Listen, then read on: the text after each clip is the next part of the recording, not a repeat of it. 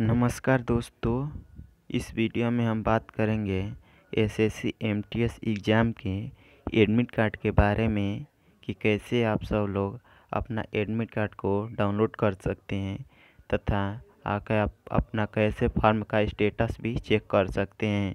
अगर आपका form reject हो गया है तो कैसे उसको देखें तथा अगर आप सभी लोग अपना रजिस्ट्रेशन नंबर या रोल नंबर भूल गए हैं तो सिर्फ़ अपने नाम की से कैसे एडमिट कार्ड को डाउनलोड करें, ये भी हम इस वीडियो में बताएँगे।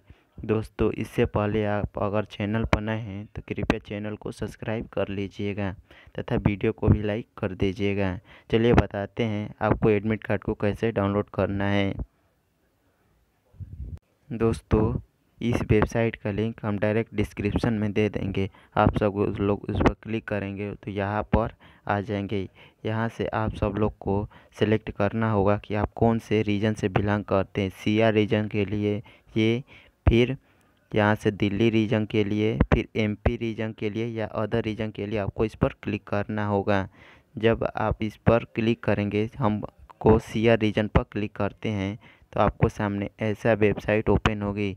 अगर आप अपना रजिस्ट्रेशन नंबर जानते हैं तो आप यह रजिस्ट्रेशन नंबर, फिर आप अपना डेट ऑफ़ बर्थ तथा ये वेरीफाई हुमेन में आप इसको जोड़ कर घटा कर जो भी आएगा, इस पर करके आप सर्च पर क्लिक करेंगे तो आपको अपना एडमिट कार्ड शो हो जाएगा तथा एग्ज़ाम डेट दिखा देगा कि आपका किस डेट को एग्ज़ाम है।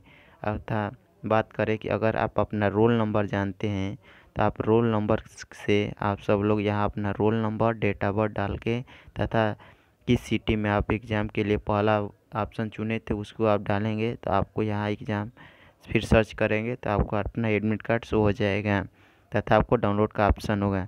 तथा बात करें, अगर आप रोल नंबर और स्टेशन नंबर नहीं जानते हैं, तब भी आपको डाउनलोड करना है।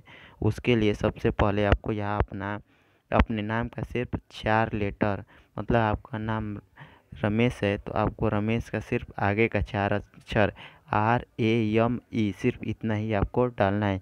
उसी तरह आपके फादर नेम में भी आपको आगे का सिर्फ़ चार नंबर ही आपको डालना है। तथा उसके बाद आप अपना डेट ऑफ़ बर्थ तथा अप्लीकेशन में जो भरे थे, आप अपना सेंटर उसको पहला वाला कोई भी एक डाल दीजिएगा।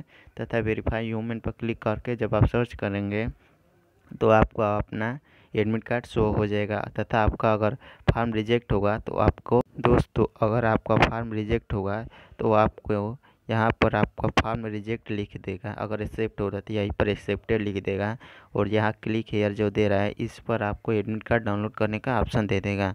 अब आपका अगर फार्म रिजेक्ट हुआ है तो यहाँ आपका रीज़न देगा कि किस वजह से आपका फार्म रिजेक्ट हुआ है। इस यह फार्म नो रंग डेटा फ़ोटो मतलब कि उस पर फ़ोटो नहीं था, इसीलिए यह फॉर्म रिजेक्ट हो चुका है। दोस्तों, इस तरह से आप अपना एडमिट कार्ड को डाउनलोड कर सकते हैं तथा देख सकते हैं अपना एग्ज़ाम कब है।